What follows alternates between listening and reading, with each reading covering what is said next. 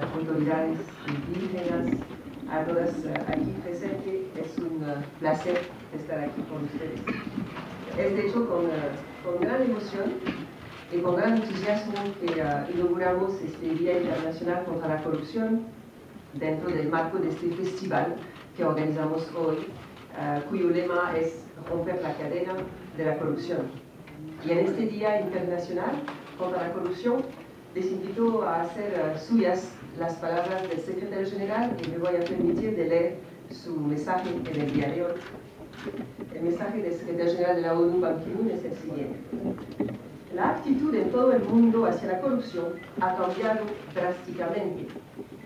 Si bien hubo una época en que se solía considerar que el soborno, la corrupción y los grupos financieros ilícitos formaban parte de los costos derivados de hacer negocios, Hoy, hoy en día, la corrupción es considerada ampliamente y con razón una práctica delictiva y corrosiva.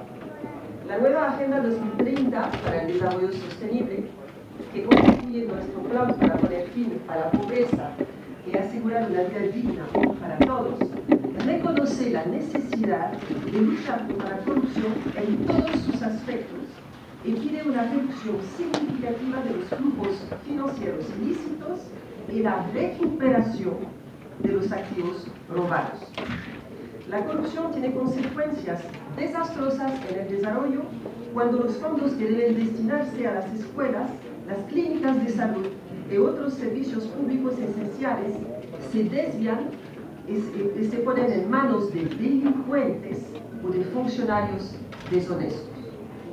La corrupción exacerba la violencia y la inseguridad y puede conducir al descontento con las instituciones públicas, al desencanto con el gobierno en general y a espirales de ira y disturbios.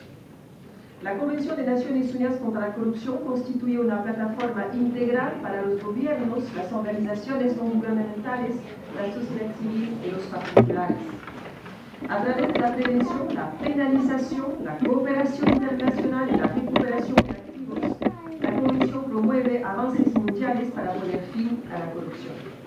Con motivo del Día Internacional contra la Corrupción, pido que anuemos esfuerzos para enviar un mensaje claro a todo el mundo de firme rechazo a la corrupción y de adhesión en su lugar a los principios de transparencia, rendición de cuentas y buena gobernanza. Ello beneficiará a las comunidades y a los países y ayudará a marcar el comienzo de un futuro mejor para todos. Eso es el mensaje del secretario general Ban Ki-moon al mundo en este Día Internacional contra la Corrupción.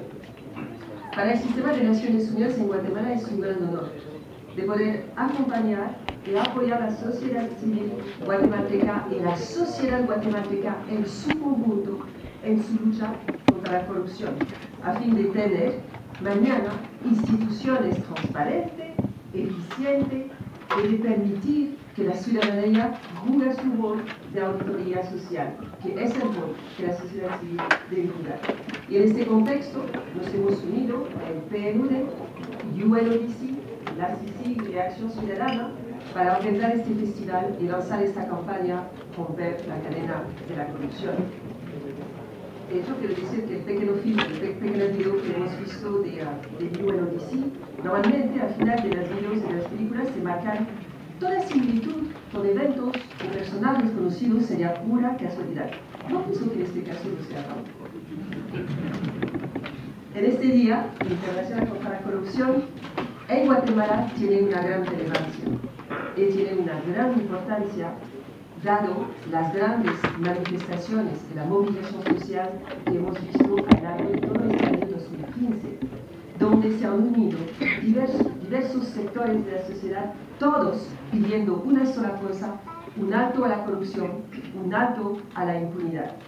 Y es por eso que el festival que estamos organizando hoy en día lo hemos hecho como un festival también muy participativo y con la participación entonces de todos estos sectores de las organizaciones públicas, privadas, que se, que se unen para lanzar este, este clamor de romper la cadena de la corrupción y con la idea que sí se puede romper. No es una fatalidad por la cual no podemos hacer nada, los guatemaltecos y las guatemaltecas han demostrado a nivel de la sociedad civil y de las instituciones del Estado que sí se puede romper la cadena de la corrupción. De hecho celebramos el espíritu cívico que ha prevalecido a lo largo de este año cuando se organizaron todas estas actividades. Entonces el festival es el festival de todas y todos y apoyamos esta movilización social, este grande movimiento social en Guatemala donde cada persona tiene la responsabilidad de ejercer sus derechos ciudadanos para un desarrollo integral de todas y todos, y donde deben cuidar su como decía, de memoria social.